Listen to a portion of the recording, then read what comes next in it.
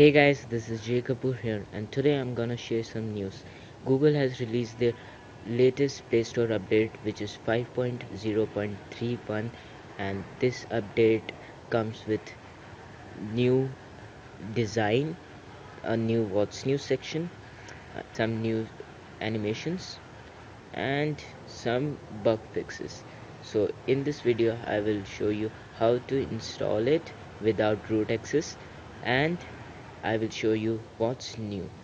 So the uh, let's begin with the installation procedure.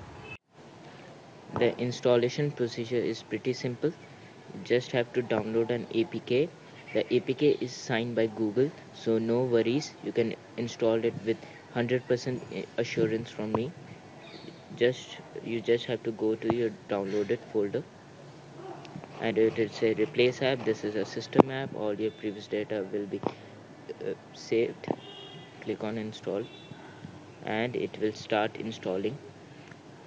The app will be installed within no times. App installed. Open the app. So as soon as you open the you will notice the new play store design. The new the new swipe left animation the new Play Store icon and the new what's uh, and the new what's new section. And you will notice the new what's new section in the green color. So and it's still truncated after four lines but the good news is you don't have to scroll down all the way to see the what's new section that's it. I have noticed in three hours i've been testing this play store version from three hours.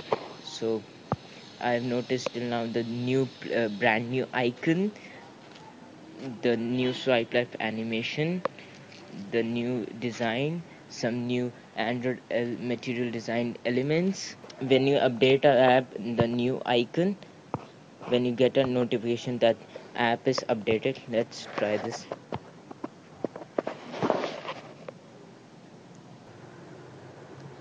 app is updated you will the new uh, tick sign in the app like this and there and that's it i have noticed till now. This video was inspired by androidpolice.com so for more information you can visit androidpolice.com i leave a link uh, down below in the description. So please check it out so thanks for watching this uh, if you like this video then please leave a thumbs up. If you dislike it hit dislike. If you have any queries about how to install the new uh, play store update and if you are facing some issues please write your issues in the comment section and i will try to respond within 24 hours. So this is Jay Kapoor signing off.